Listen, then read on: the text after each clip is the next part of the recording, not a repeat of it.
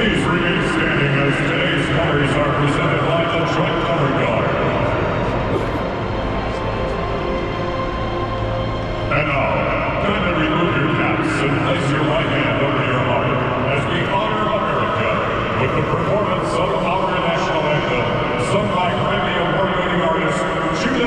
Hill.